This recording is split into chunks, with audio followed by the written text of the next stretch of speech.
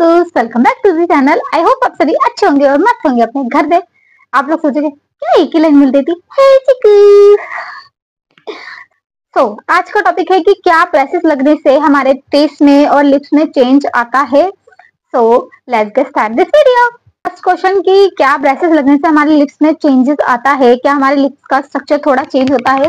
तो हाँ चेंज होता है। मतलब बहुत हद तक हमारे जो लिप्स हैं, उनमें चेंज आता है। अगर आपके टीथ बाहर हैं जस्ट लाइक मेरे थे तो आपके लिप्स में डेफिनेटली चेंज आएगा। क्यों? क्योंकि हमारी जो ये लाइन है, ये जो लिप्स हैं, ये हमारे दांत आगे हैं तो उठे हुए हैं। तो हमारा मुँह जो है, वो लिफ्टेड आगे लंबा लंबा लगेगा। ठीक है, इस तरीके के लगता है हमारा जो मुँह है, वो आगे ऐसे करके उठा हुआ है। हम आगे को होट करके और उसके बाद अपने लिप्स को बंद करते हैं।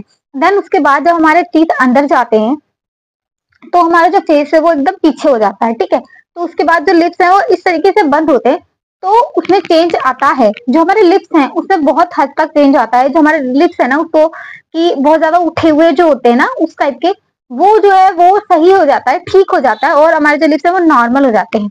लेकिन अगर आपके जो ये लाइन है, ये चीज़ है ना, इसमें अगर थोड़ा कम गैप है, जैसे कि मेरे है तो आपके जो लिप्स हैं, वो पूरे प्रॉपर तरीके से बंद नहीं होंगे, क्योंकि मेरे भी नहीं होते।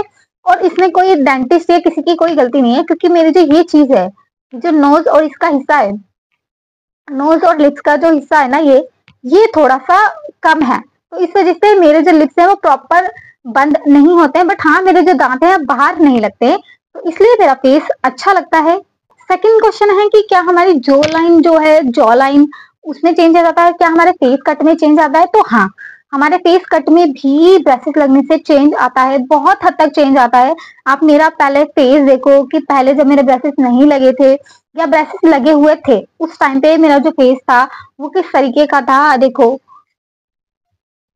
जो ये चीज़ है ना, उसमें हमारे बहुत ज़्यादा हद तक चेंज आता है। जो हमारा फेस स्ट्रक्चर है, वो थोड़ा चेंज होता है। पहले मेरा जो फेस था, वो ऐसे चौड़ा और यहाँ से कुछ इस तरीके का था, क्योंकि मेरा यहाँ से भी उठा हुआ था। तो ये जो चीज़ है ना, वो हमारी उठी हुई रखती है।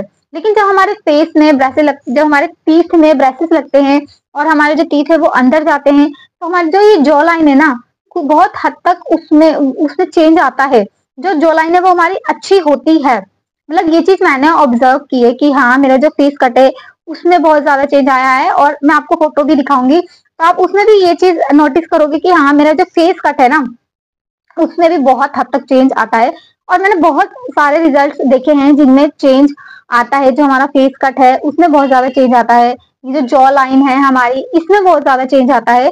तो हाँ ब्रेसेस हमारे फेस कट हमारे लिप्स को बहुत हद तक इफ़ेक्ट करते हैं, बहुत हद तक चेंज करते हैं। मतलब हर कंडीशन में नहीं, एक दो परसेंट कंडीशन ऐसे होती हैं कि कुछ चेंज नहीं होता। अगर आपके थोड़े से लिप्स बाहर हैं, या फिर आप, ये में ज़्यादा चेंजेस नहीं है नहीं करवाए गए हैं तो आपके जो जो लाइन है या जो लिप्स है, वो ठीक है नॉर्मल रहेंगे, लेकिन मेरे लिए तो ये चेंजेस बहुत अच्छा था मतलब बहुत बहुत बहुत बहुत बहुत अच्छा था, बहुत अच्छा था, क्योंकि मुझे अपना फेस अब बहुत ज़्यादा अच्छा लगता है, बहुत ज़्यादा क्यूट लगता है तो इसलिए मेरे लिए ये चेंजेस बहुत अच्छा था but still I don't know कि और लोगों के लिए ये चेंजेस अच्छा होगा या नहीं होगा डिपेंड करता है कि आप अपने फेस में क्या क्या चेंजेस चाहते हो।